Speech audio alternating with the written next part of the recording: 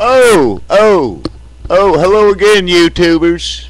Yeah, I was just chilling out for a minute, you know, listening to a little bit of Hacks Radio, you know, the stream the FBI masturbates to. Anyway, I ain't here for that. Let me get my headgear on, alright? Good Lord, it's been a while. Yeah, you remember me as Mervin. Yeah, I know, I know. I hadn't done no Obama rants because I'm sick of his. Uh, even his name makes me ill. And you know we was supposed to do straight from the couch, but good Lord, between Master of Many Things, getting busy every day, and you know my schedule's real heavy. We ain't been able to get to that, but it's on the list. But anyway, I'm not here for that neither. I want to talk about Twitter a minute. Yeah, 'cause you see, I know, I know you don't think Mervin can even tweet.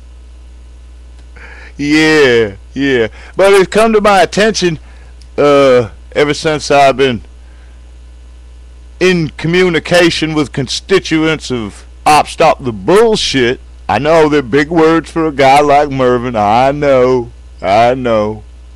But anyway, it it seems that the Twitter censorship is, is starting to expand, and I thought I might bring some attention to that. You see, because you know, Twitter knows its site pretty well. So do I. Yeah, yeah. And they know how to shut down my one account. Yeah. And I know how to start 5,000.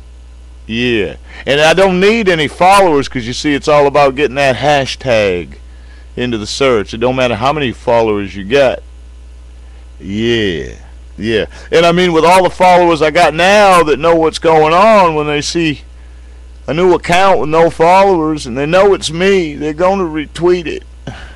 And, and they just might ask me, "Hey, how'd you make them 5,000 accounts?"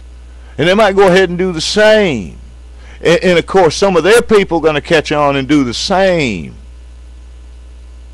So I guess what I'm saying is